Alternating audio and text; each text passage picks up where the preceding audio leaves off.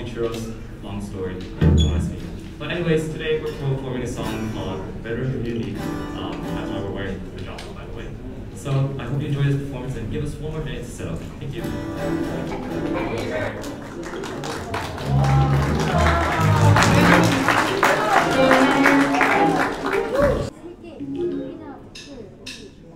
Here it is.